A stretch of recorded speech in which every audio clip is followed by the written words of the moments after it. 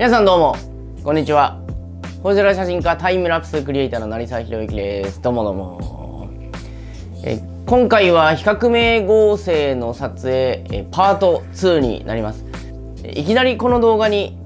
来ちゃった方は前回の動画ぜひ見てください。撮影前の基礎知識とカメラの設定についてお話ししています。ではね今日はこの富士フィルムの XS10 とそれからサミアンのフィッシュアイ 8mm の2.8で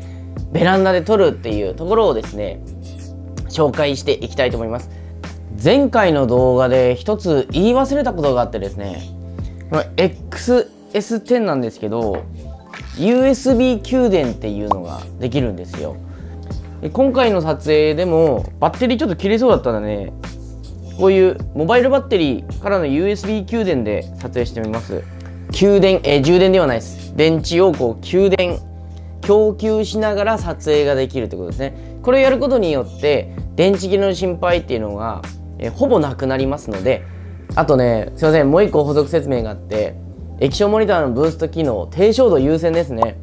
この低照度優先をオンにすると暗い中でも液晶モニターが明るくなって構図の確認がしやすくなるっていう機能がこのカメラにはついてますのでそれもここで補足説明としてご紹介しておきます。あの USB 給電なり、えー、低照度優先なりは前回 XS10 のレビューをした動画でですねみっちり紹介してますんで低照度優先だけの動画もこうやって作ってますんでそちらも、えー、合わせてご覧いただければなと思います、え今日の動画は撮影をしてそれからそれをパソコンで合成するとこまでお見せします。えそれでは今日も行ってみましょう。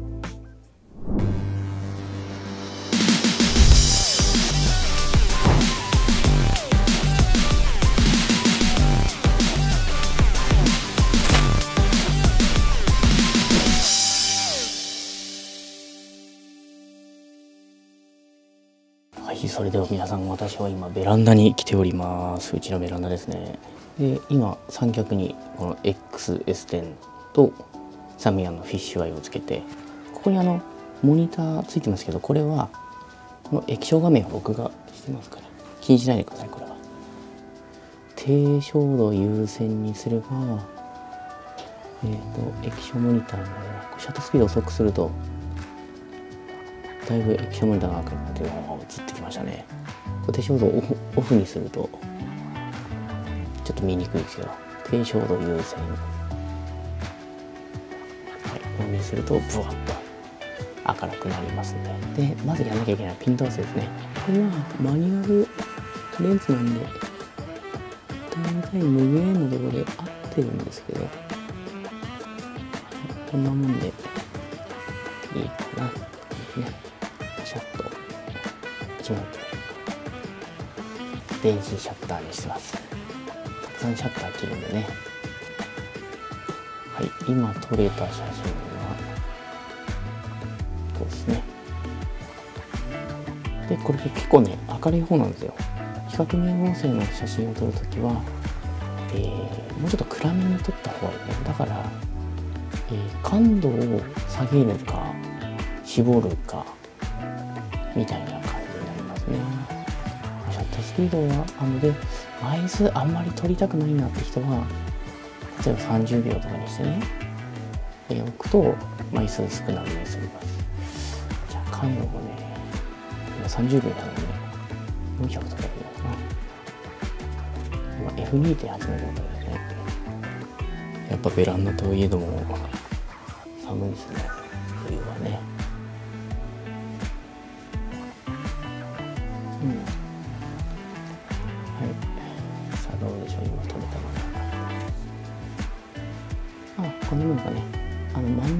左よりもやや左っていうのがちょうどいいと思いますあこの問題線持つとねちょっと黄色っぽいの持つってるんでアルデバロンの黄色っぽいの持つってくださいこういう感じで取りてますうんであのむしろこの手前のね景色ももうちょっと撮りたいなってなったら絞った方がいいです。F8 にしてみましょう。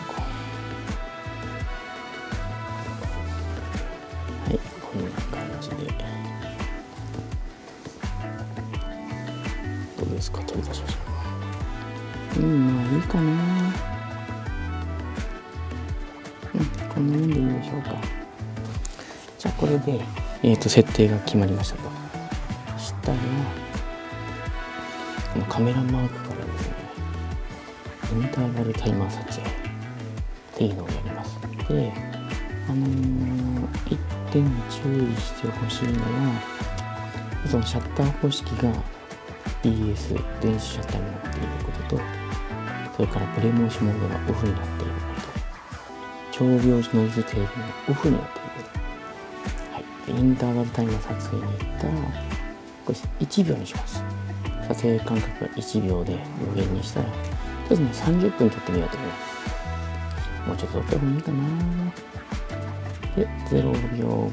はい。これスタート。これも撮影開始しました。あとは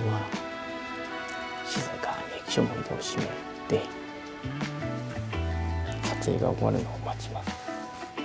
このまま家で待機してようと思います。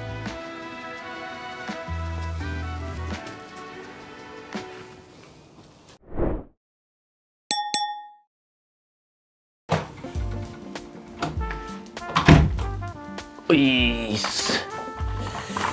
撮影してきましたよ。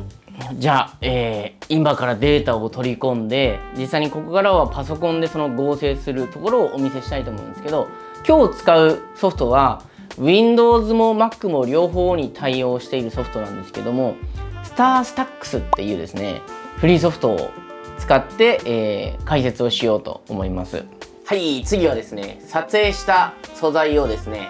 パソコンに取り込んで、えー、比較名合成をするところをお見せしたいと思います。まず概要欄に、えー、スタースタックスのダウンロード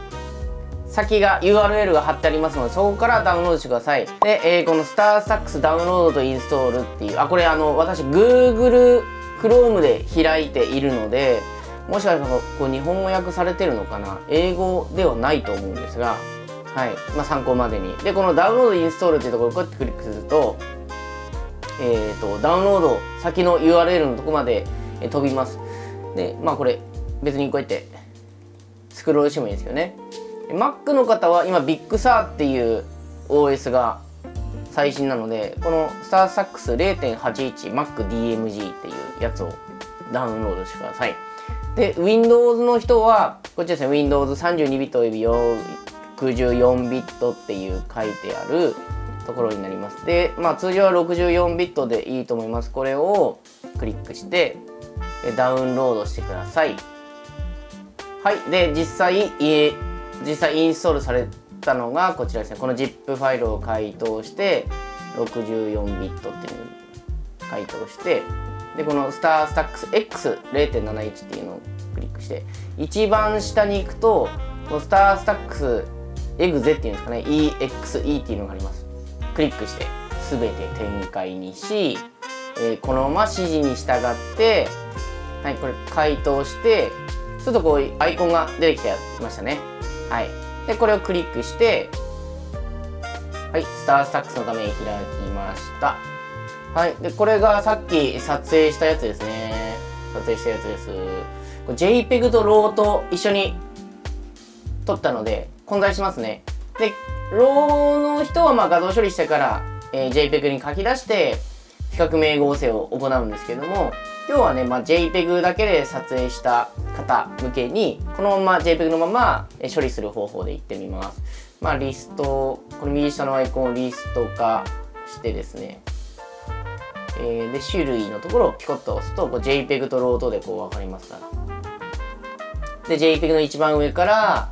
えー、これですね JPEG の一番下までシフトクリックを押すとこれ全部選択できますんでここからこのスタースタックスのドロップイメージツィアってとこにこうぶち込みます。はい。入れましたね。ここまでいったらねもう簡単なんですよ。えっ、ー、とこっちのはい右側のこの画像見てみます。ここにねライトにってありますね。ライトゥン。これが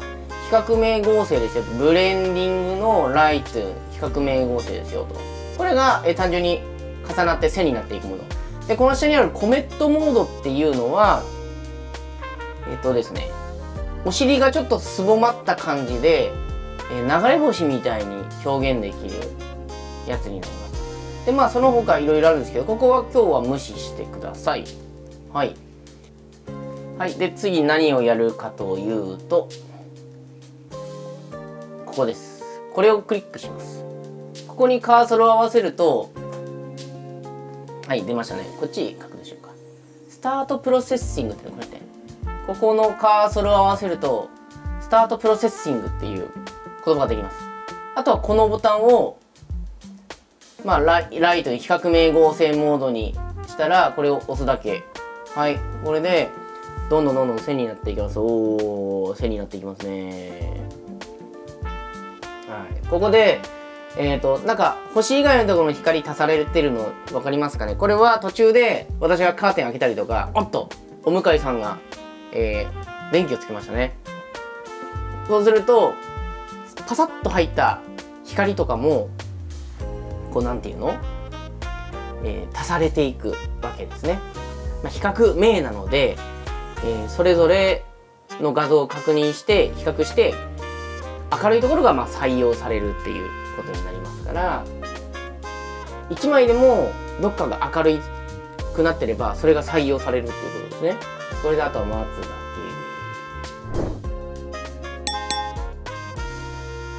はいこれで終了できましたこれで。でですね、えー、ここだな。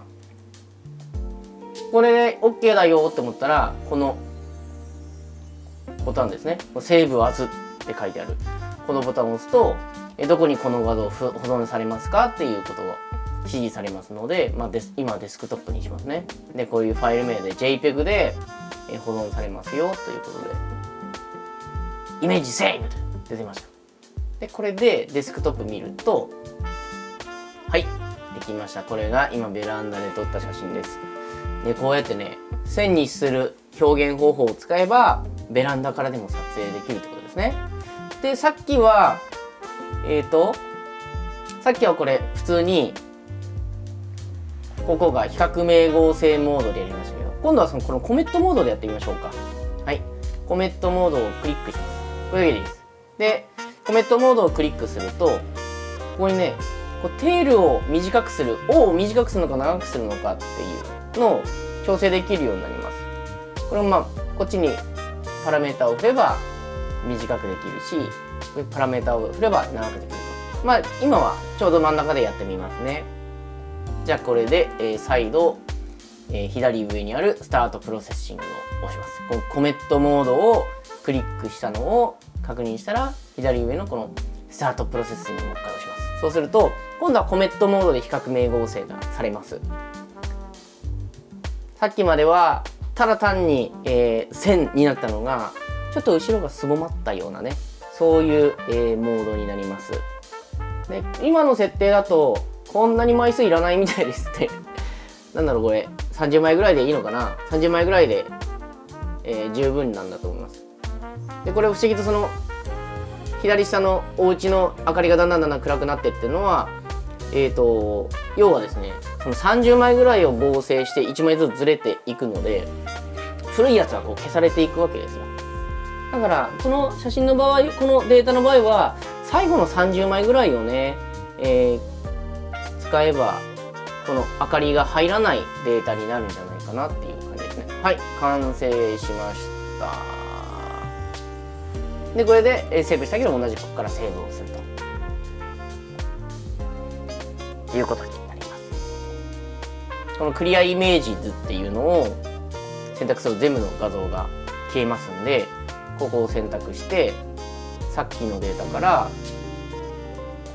えー、最後の30枚ぐらいですか？まあこんぐらいにしときましょうか。はい36枚。だけ取り込んでコメットモードにしてスタートプロセッシングっていうふうにすればあもうちょっと長くてよかったのかな。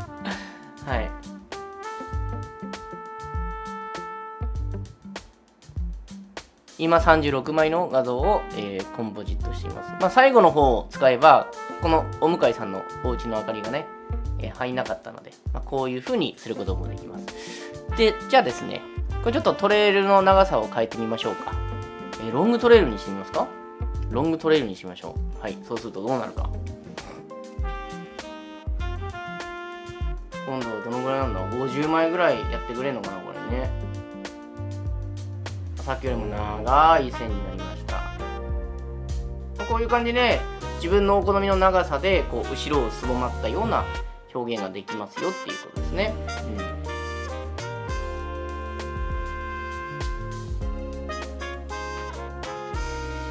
ん。はいできましたね。これ長いトレイルになって後ろがすぼまっているっていう、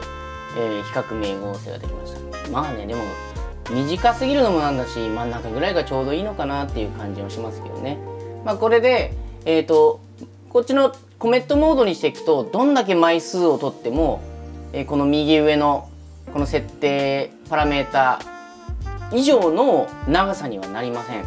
で長いものを描きたければこのコメットモードを外して比較名合成を行えばいいと思います、まあ、これでベランダからえー、比較名合成星空を撮ることが無事できました。でまあ私の家そこそこ田舎ですけど街灯っていうか、ま、家の光が普通にあるところなのでそういうところで撮ってもまあこれだけ映ります。で都会にお住まいの方それこそ大阪府とか東京都とかそういうところにお住まいの方でもベランダから空を撮ればこういう風に星を線で描くことができますんで是非トライしてみてください。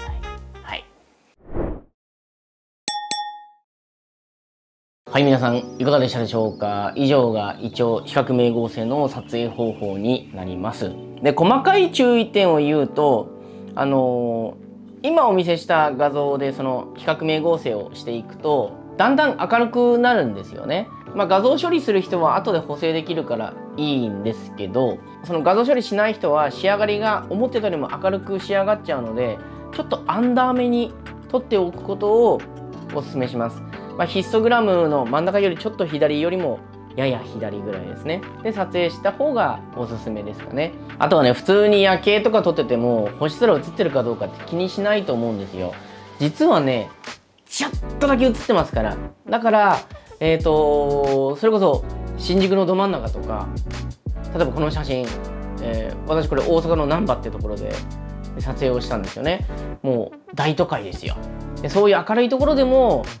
表現ができるっていう。この比較名合成の撮影方法は街中で撮影した方が私は向いてると思ってて真っ暗な天の川が見えるような場所に行くと星がね映りすぎちゃうんですよこういう感じで。映りすぎちゃうんですよ。だからその下の風景の構図が結構どうでもよくなっちゃうんですよね。どちらかというと天の川が見えるような真っ暗なとこでやるよりは街中明るいところで手前に風景を入れて星空を奇跡にするというような感じで、まあ、都市整形って言いますけどね、えー、そういう感じでやった方がいいと思います。あとは、えー、方角を気にした方がいいですね。北に向ければ北極星のぐるぐるが取れますし、東、西に向けるとこう、まっすぐエリアがありますから。で、南側は極軸のちょっと上なんで、こう、えー、なんですかね、ゆっくり弧を描くような感じで撮影表現ができるんですけどもあとそのそれぞれの撮影時間の目安なんですけど北を撮影する時北っていうのは地球の回転軸の近くに星がありますんで動きが星の動きが少ないんですね。ですから北極星のぐるぐるを描く時っていうのはなるべく長く撮影した方がいいです。最低でもね。うん1時間ぐらいやった方がいいと思うな。1時間以上は撮影をすることを考えてみてください。で東とか西のそのまっすぐエリアっていうのはすごくね星の動きが回転軸から離れるところなので星の動きがとても大きいところなんです。だから、えー、30分もやるまで結構な奇跡になります。本日の動画はここまでになります。どうでした？なんかできそうな感じします？あのまあ実際ね星を取りに行くことができなくてもこの撮影方法でそういう感覚を磨くことはできますんで撮影の幅が広がります。あとカメラがもう1個欲しくなる。これやってると何もやることないんですよ。まあ家でやってる分にはこうやってなんか家でテレビ見たりとか してればいいんですけどね。実際撮影地に行ってこれやると他にやることなくなっちゃうのでもう1個カメラも買って、まあ、これをサブ機にしてね。で比較名合成やりながら、えー、もう1枚でパシャパシャその辺で1枚撮りの写真を撮るっていう風に、えー、複数台使い分けでやった方が撮れ高が上がりますんでもう1個ねカメラあるといいですよっていうのはお伝えしておきます。それではまた次の動画でお会いしましょう。さよならバイバイ。したっけねバイバイバイバイバイバイ。